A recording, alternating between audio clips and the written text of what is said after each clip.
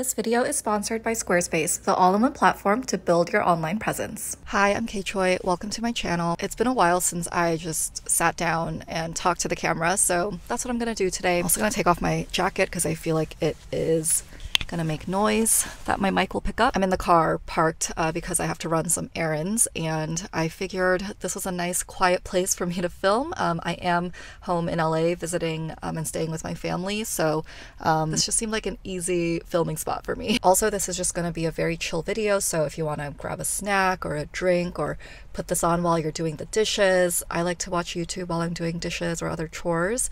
Uh, feel free to do that. The main topic for this video is work-life balance and more specifically how I balance YouTube with work, with my social life, and the podcast that I do with my friends. I get asked about how I do all of that.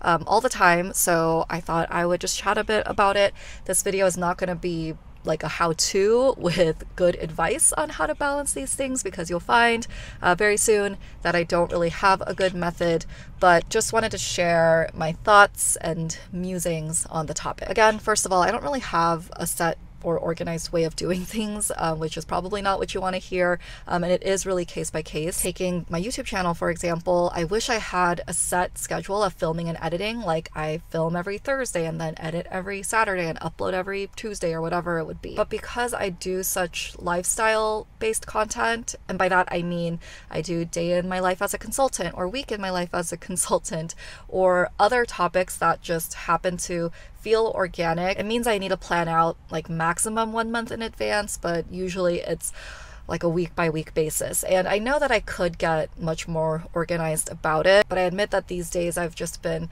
a little bit uninspired and I still really like making vlog content, so I want to keep doing that.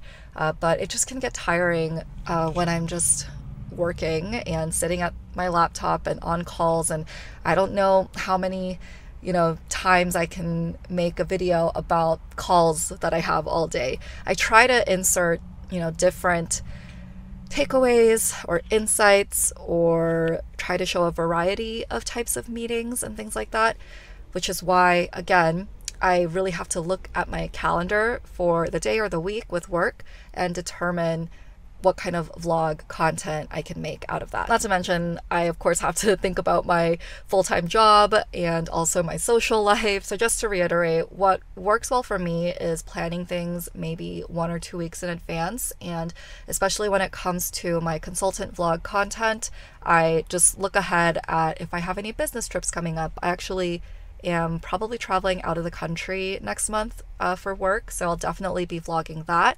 So when there's things like that, I can plan in advance of what I'm going to be filming during those trips or those work days and then when I can realistically edit and upload. And I also just try to give myself grace because I know there's no way I'm going to be on top of everything all the time.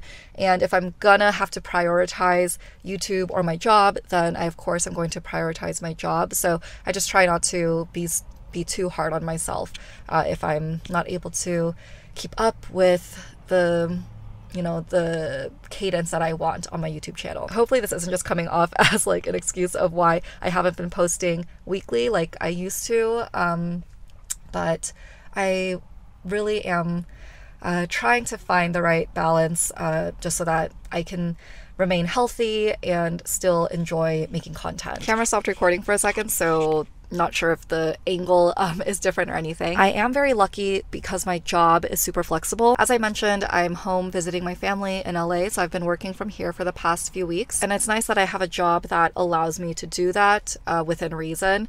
I've got some meetings in New York um, next week, so I definitely um, need to be back for those. And even though it's pretty brutal having to wake up uh, for 5 a.m. calls um, because I'm working on East Coast hours, I at least get the afternoon to do things like run errands, uh, like I'm out doing right now, um, or spend time with family. So I know not everybody can have a job that is flexible in that way, but that's just another way that I've been able to balance things like YouTube and spending time with family and friends and all of that. And I really do try to apply that. I try to apply that flexibility when I'm in New York too. So if I've got you know, some early morning work that I need to get done, um, maybe I'll step out in the afternoon to go to the gym. Or if I had a flight that came in really late uh, the night before from a client meeting, then maybe I'll start work a little later the next day. And all of this, of course, is within reason. It's also depending on all of my projects and where they're at, and if my project partners need to meet with me. There are definitely busier seasons, so there are times where I can't have that flexibility, but I do my best to set my boundaries.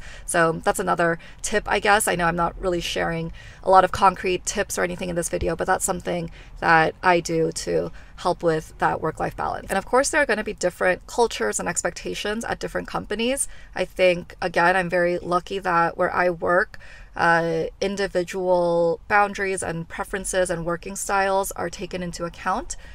As long as you, of course, are being a team player and are getting the work done and doing your work well. And then the third, or I don't know what number of you know, thought I'm on. But another thing I was thinking about was how creating content becomes so much more fun and enjoyable when you have friends who are doing it as well. And I think it could look like two things, and it could be an either or or both. Uh, but first, just knowing other people who create content and have that interest. It's just great to have someone who understands what you do and what you enjoy. And you, of course, build your network. Um, I've found it helpful because I'll talk with other creators about um, our struggles or our ideas and plans for our channel, and also things like working with brands and how to navigate that. Because all of this is still fairly new relative to other ways of earning money.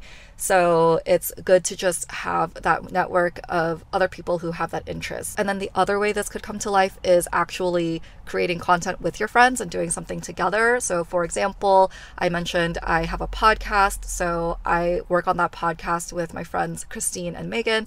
They also have their own um, Instagrams and blogs that they work on. So they're individually creating content as well, but then the three of us create content um, with our podcast. The reality is that when you are doing something like content creation or another side hustle on top of your full time job, um, you're gonna have to give up something. You're gonna have to give up your social life or some sleep or something else. But the fun thing about having one of these projects and you know creating content with friends is that it feels like you're hanging out with your friends as well. So you got a bit of that social life, but you're also working on this passion project or this side project that um, you're really enjoying. I love doing our podcast because when we record, it's just like I'm catching up with my friends, and then we happen to be able to pour some creative energy into this project together. And we've invested, you know, our own time and money into this podcast with our recording platform and our website and we even did a photo shoot recently with some really, really nice photos that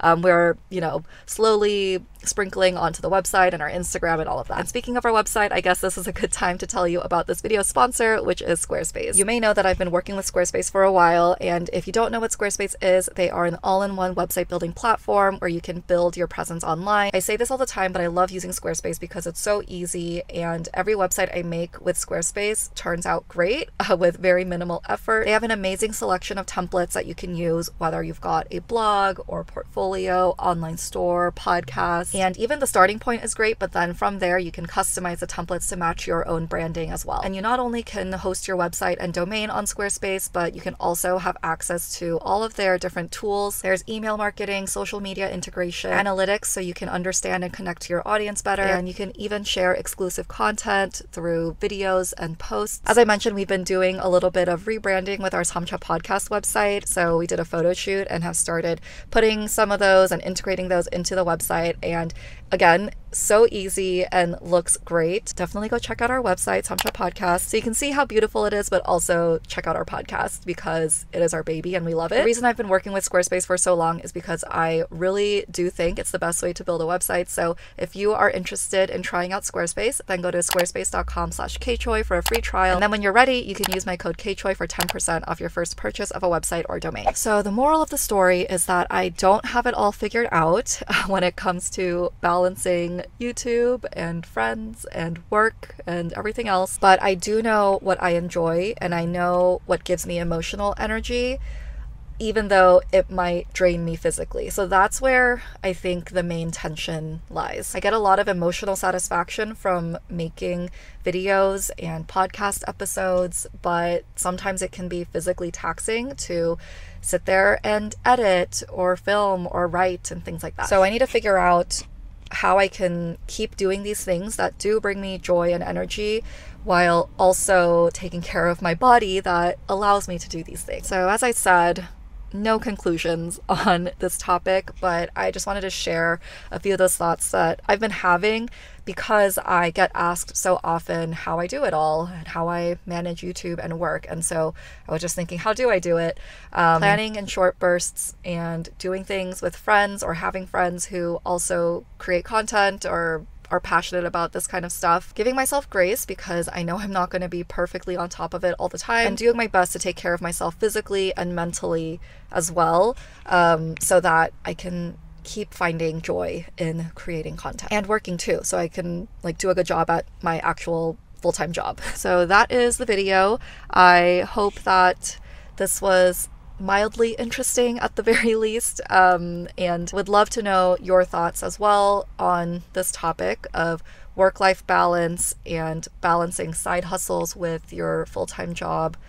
I feel like it's becoming more and more common, so I think that you all will have some good insights. Let me know what videos you want to see on this channel because I can always use more inspiration. Leave those in the comments, um, and I will see you in the next one. Thanks for watching. Bye.